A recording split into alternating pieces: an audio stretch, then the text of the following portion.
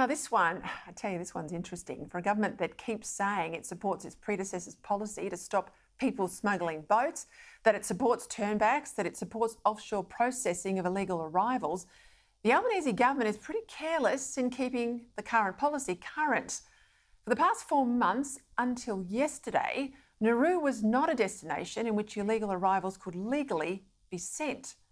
An instrument in the Migration Act designating Nauru as a regional processing country expired in October last year and has now just been reviewed by a very panicked government playing catch up. Some today say it was the public servants who are to blame here, with the bureaucrats reportedly only advising the government a few months into their term in office after the designation had expired. But is that really what happened? Given every minister, every minister and the Prime Minister gets an incoming government brief, this sort of sunset provision looming is up in lights at the top, at the front page of these sort of incoming briefs.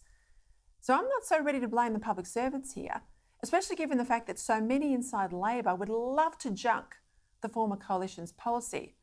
There's a few sensible ones left that know if they do, the boats will start up again. We'll just see, won't we, what else Labor forgets about when it comes to border protection in coming months.